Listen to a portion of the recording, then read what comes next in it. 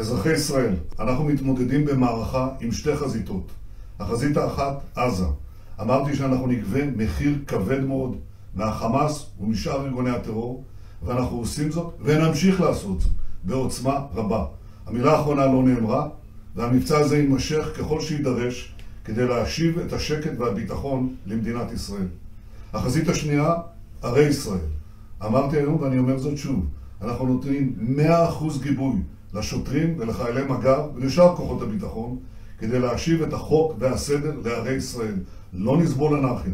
אנחנו נותנים גיבוי למשטרה כדי להפעיל את כל האמצעים, את כל האמצעים עם כל הסמכויות, כולל שיתוף של חיילי צה"ל, כולל שיתוף של השב"כ, ונתנו כאן סמכויות של מצב חירום. כל האמצעים הללו חשובים, לגיטימיים והכרחיים כדי להפסיק את ההתפרעות הזאת בתוך מדינת ישראל. אני קורא שוב לאזרחי ישראל לא לקחת את החוק לידיים, מי שיעשה זאת ייענש בחומרה.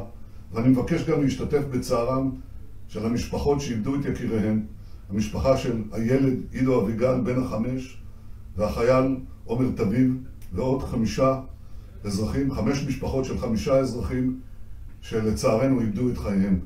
אנחנו נפעל בכל הכוח נגד אויבים מבחוץ ופורעי חוק מבפנים כדי להחזיר את השקט למדינת ישראל.